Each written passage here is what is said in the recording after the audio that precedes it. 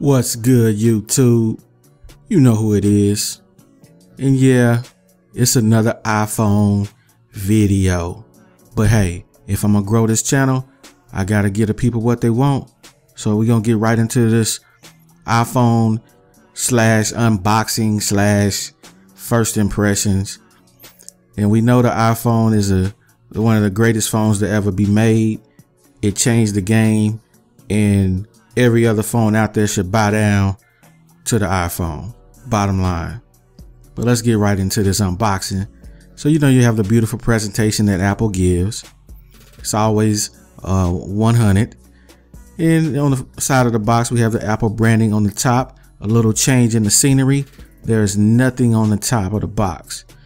But the presentation is always there with Apple. You know what you're gonna get. You're gonna get a cord, you're gonna get the cables, and you're gonna get some headphones. And we got that. And also the usual books. And you got the star of the show, the iPhone. Looking real good.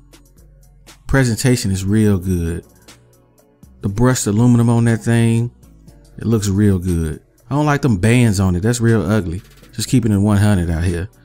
But on the side, you know, you got the volume rockers and the uh, mute switch whatever they want to call that.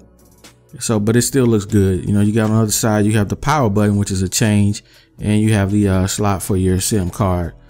On the bottom, the usual speaker, headphone jack, and the lightning port adapter. But let's talk about the actual device. This thing is beautiful. I'm so happy that they went to a bigger screen on the iPhone. Uh, the 5.5 is beautiful. I don't like this camera though. It sticks out. Nobody likes that. But the feel in the hand is great. I mean, you really can get into how the iPhone feels in your hand. I'm sure you guys will enjoy that. So, you know, that's that. Uh, it's the stark difference. You know, I was using my LG G3. I still love this phone. I'm, I'm still torn between going from the G3 to the iPhone, but we'll see what happens. But you know, this is uh oh yeah, the screens. I mean, I put these guys side by side. I mean, honestly, I ain't off of that specs mumbo jumbo. I really couldn't tell the difference. I mean, I I'm not gonna put a magnifying glass up there. It is what it is. Well, guys, if you uh, want to see some more iPhone coverage, definitely hit the thumbs up. Don't forget to comment.